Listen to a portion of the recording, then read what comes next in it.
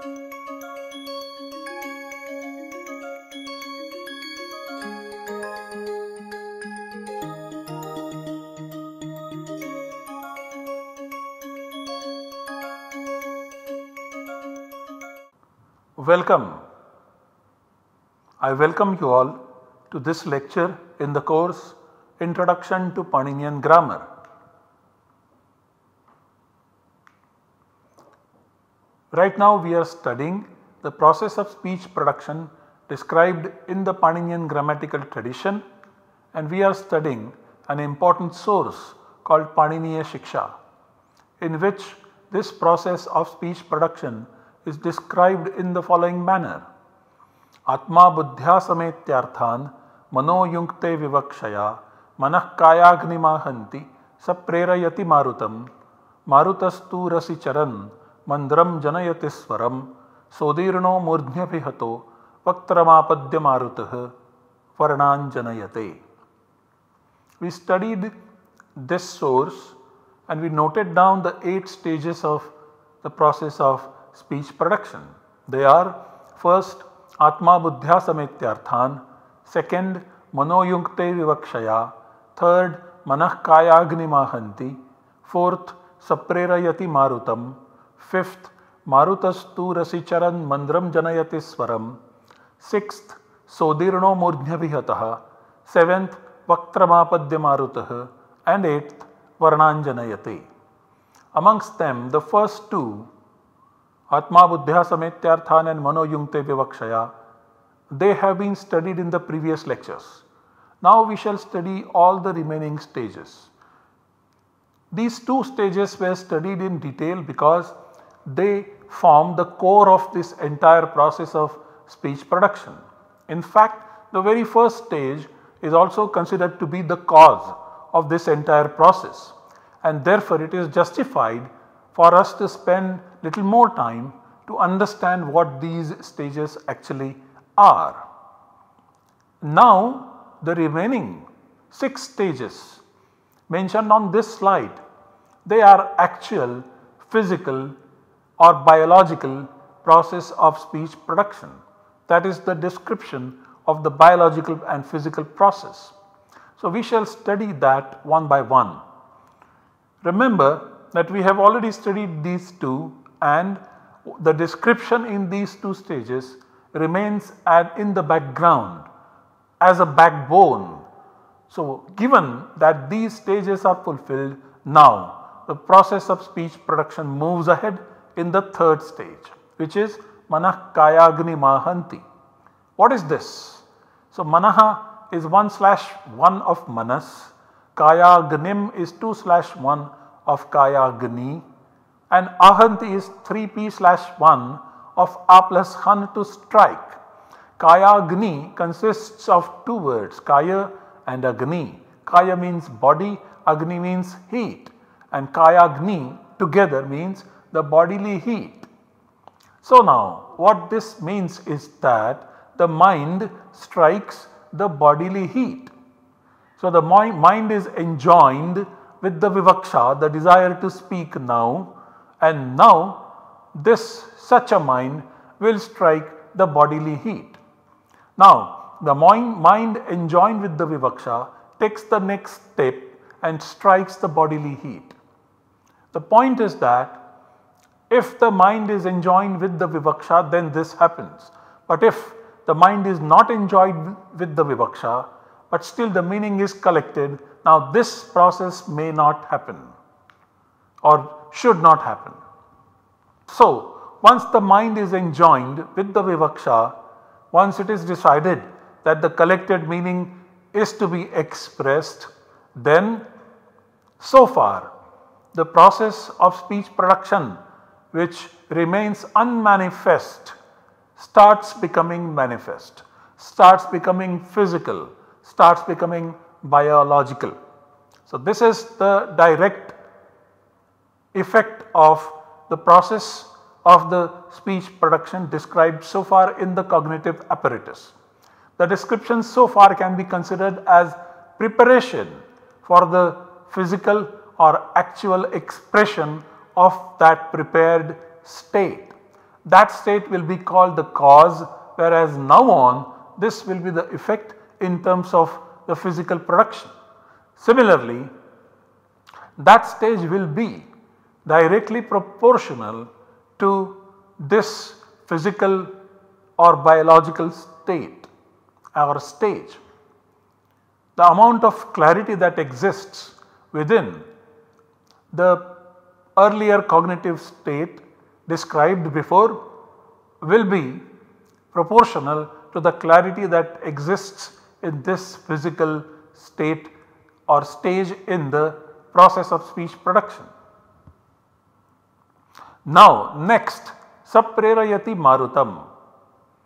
This kayagni now saha is a pronoun 1 slash 1 of the Sanskrit pronoun tad meaning he referring here to the kayagni also referred to in the previous line on the previous stage whereas kayagni means the bodily heat. Prerayati is 3p slash 1 of pra as a preverb with eri as the verbal root and prerayati means propels and marutam is the 2 slash 1 of maruta meaning the wind. So what it means eventually is that the bodily heat propels the wind. This wind is the breath that is inhaled and it is propelled in the lungs that is the location obviously propelled up.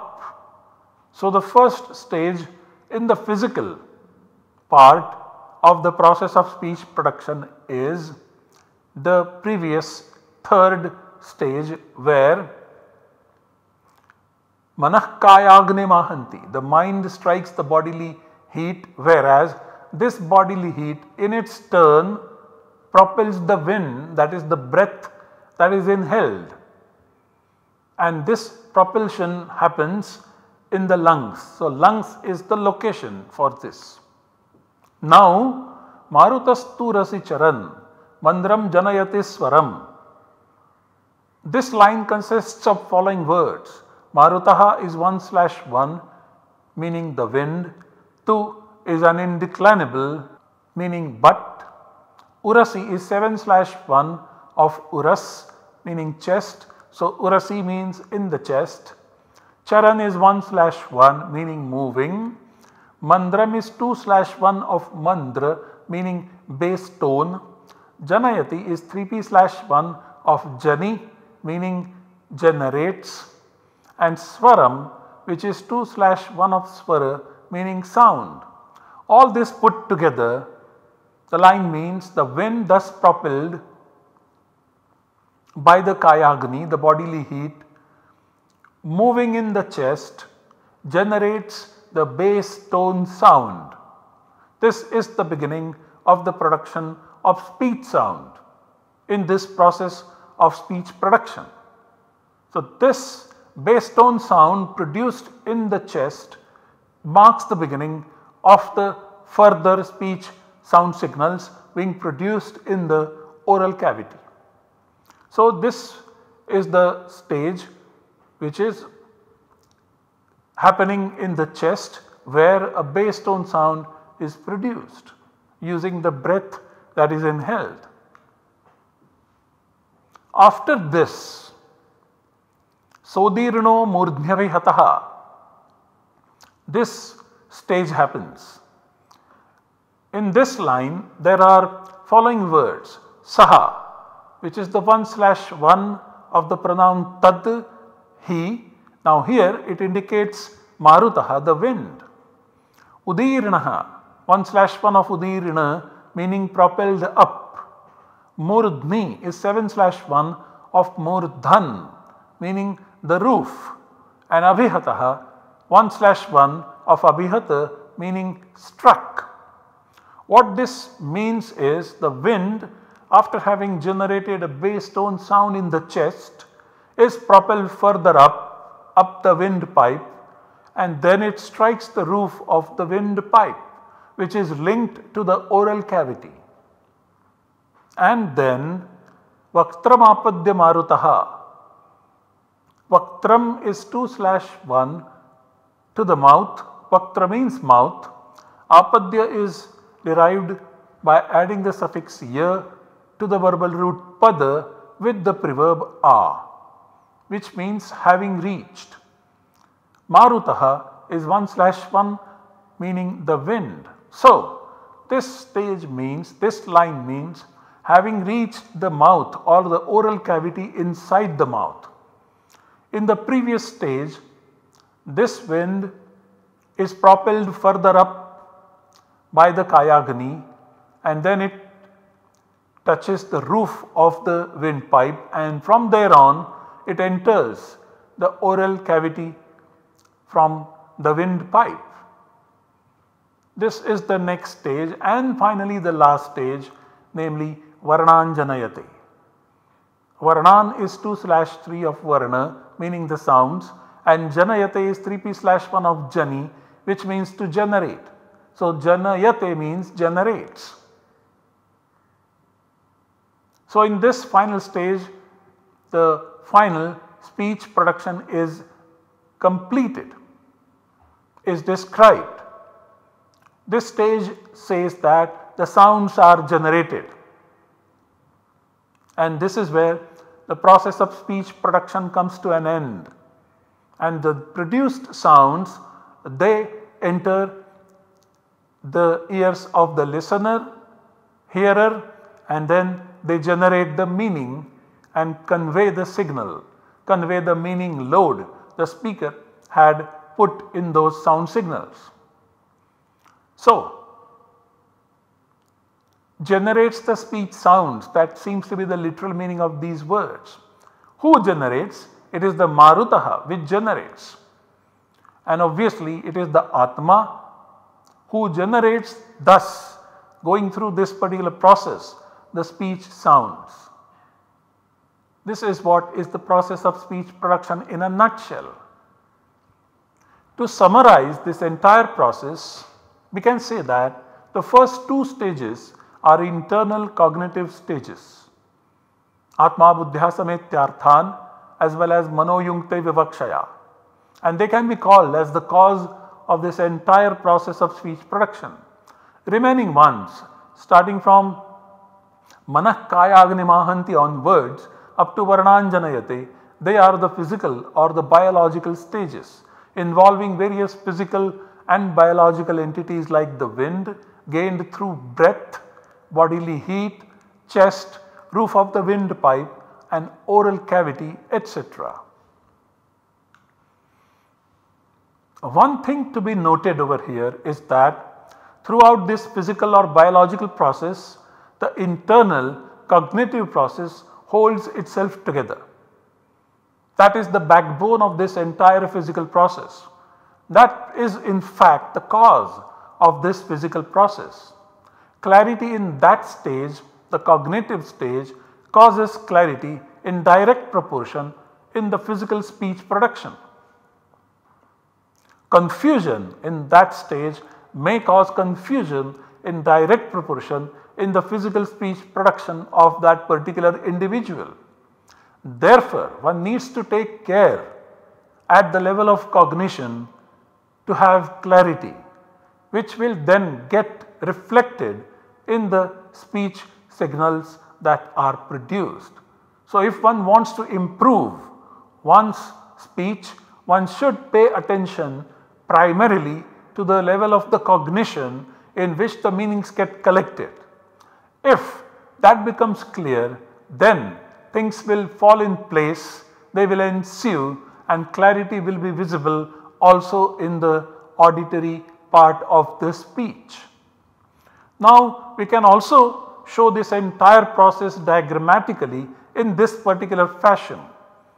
Here is the Arthakasha and Shabdakasha, the internal world of the speaker which consists of Atma having collected the Arthas through the buddhi and then enjoining the mind through by vivaksha and then the mind strikes the kayagni which then propels the maruta in the uras and then it is propelled further in the vaktra the face or the oral cavity wherein there is some processing done on it and then it generates the sound. But remember all this process that happens in the vaktra or the face or the oral cavity they, that is all programmed at this level. And all these stages they are the intermediary stages they are simply carrying forward the programming that happened at this level to this external most stage of the oral cavity which then generates the sound and this is your audible sound. So, this is the diagrammatical representation of what is Arthakasha. There are several items which are part of the Arthakasha and this Arthakasha is part of the intellect. Similarly, the same intellectual space is also divided into Shabdakasha. There is Arthakasha and there is Shabdakasha and there are some links between these two. There are these links between Arthakasha and Shabdakasha and they play a crucial role, an important role. And it is these Arthakasha parts and the parts of the Shabdakasha then which are also linked to the objects in the world primarily through the Arthakasha. So, objects which are part of Arthakasha they are also linked to the objects in the external world.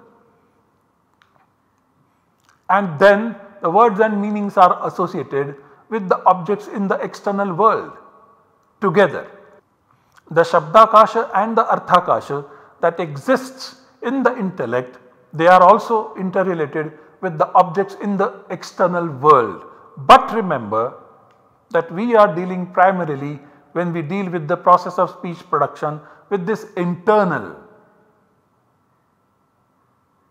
Shabdakasha and Arthakasha and not these external. They cannot be processed. They have to be processed in this fashion. They have to be processed as Shabdakasha and Arthakasha. The process of speech production and the cognitive stage and vivaksha also involves the sentence formation. The sentence that gets formed as Ramo Gramam Gachati. So, here you have Rama, Grama and Gam as part of the Shabdakasha which is linked with the Arthakasha then gets formed in the manner of a sentence right in the Shabdakasha expressing the Arthakasha which can be once again described in this particular manner. So, when the Atma collects the meaning through buddhi, he collects the root meanings and the termination meanings and then this propels the vivaksha in which the group of roots and terminations which are part of the Shabdakasha are also made part of. And then finally the Manas and Kayagni etc. they are also made part of this particular process and finally it comes to the level of Vaktra where the series of words or sentences they get produced. So, this is the auditory perception, this is not the auditory perception, the intellectual and the cognitive plane works over here as the cause in this particular manner. Similarly, the concept of compatibility, congruity or yogyata also plays an important role in the Shabdakasha as well as Arthakasha. So, for example, the word Pakshi is linked with Uddi namely to fly and manava which means a human being is not linked directly with uddhi or to fly. So when we say we fly we know that we are not actually flying. When we say I am flying tomorrow to New Delhi we know that I am not actually flying like a bird. So then what is meant here is that I am going to sit in a plane which is inanimate but it can be flown using some kind of fuel. So, in fact that action is going to happen and what I am referring to when I utter the sentence I am going to fly tomorrow to New Delhi is particularly this reference that I am going to sit in a plane which is going to fly, which is going to be run by an individual which we are going to call as the action of flying. Similarly, the Arthakasha and the Shabdakasha also consist of the polysemous words and meanings which are expressed by different words. For example, Harihi Shashakam Bhakshayati. In this sentence, Harihi is a polysemous word because Hari stands for a god or a monkey and also a lion. Whereas Shashaka means a rabbit and Bhakshayati means to eat. So Hari in as part of the Shabdakasha is linked to several items in the Arthakasha which creates confusion, which creates ambiguity. And there are mechanisms suggested in the literature, the traditional literature as well, which indicate the ways in which this ambiguity can be resolved with the way in which the disambiguity is achieved. So, polysemous words are indeed part of the Shabdakasha linked to various parts of the Arthakasha. So, the sentence Harihi Shashakam Bhakshayati which means a lion eats a rabbit that is clear as far as the Arthakasha of the individual is concerned which undergoes this particular process described just now. So, to summarize we can say that this process of speech production described now involves the cognitive process and the physical process and the cognitive process plays a very important role that of a cause of the effect in the form of the physical process. This is what we try to explain in this lecture also through the diagrammatic representation. Now coming to the close of this lecture, we recite as is our practice the Mangalacharana. Today it is taken from a very important work of Bhattoji Dikshita called Vyakarana Maton Majjana Karika. And this Mangalacharana is Fani Bhashita Bhashyabdhehe शब्द कौस्तुभ उद्धृत तत्र निर्णीत एवार्थ संक्षेपेण कथ्यते। I repeat फणिभाषित भाष्याब्धे शब्द कौस्तुभ उद्धृत तत्र निर्णीत एवार्थ संक्षेपेण कथ्यते। This is from Vaiyakarana Matonmajjana Karika and we and today's lecture with the five sutras today taken from 4.2 They are Tenaraktam Ragat, laksharochanatthak Nakshatrena Yuktah Kalaha, lubavisheshe Saudnyayam, Shravanashvathabhyam. And I repeat, Tenaraktam Ragat, laksharochanatthak Nakshatrena Yuktah Kalaha, lubavisheshe and Saudnyayam Shravanashvathabhyam. And now we shall study some specific terminology which describes the features of sounds that are thus produced in the process of speech production in the next lecture. Thank you for your attention.